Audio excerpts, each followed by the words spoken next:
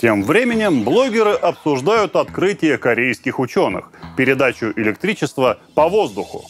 Online Electric Vehicle, сокращенно ОЛЕВ, результат совместной разработки Корейского ведущего научно-технического института и Железнодорожного исследовательского института. Пример чистого электрического транспорта, не нуждающегося в проводах. Используя уникальную бесконтактную магнитную систему, новинка получает энергию от энергетических полос, спрятанных под поверхностью дороги. Подзаряжаться транспорт может прямо на ходу, что позволит избежать дополнительных остановок и специальных мест для подзарядки. Маршрут состоит из отрезков. Некоторые Некоторые из них оборудованы зарядными полосками под поверхностью. Транспортное средство собирает электричество с дороги и использует его для питания двигателя, либо для зарядки батарей, которые включаются на участках без магнитного покрытия. Такой механизм обеспечивает безопасность пешеходов и владельцев автомобилей, вынужденных пересекать эти электропути.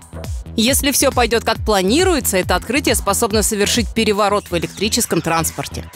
Путь от концепта до коммерческого релиза занял три года. Испытания проводились на станции Осонг. По словам ученых, система беспроводной подачи энергии отличается стабильной мощностью в 180 киловатт и частотой 60 килогерц. Ученые уверены, что такая технология может быть применена не только на железной дороге, но и для нового поколения трамваев.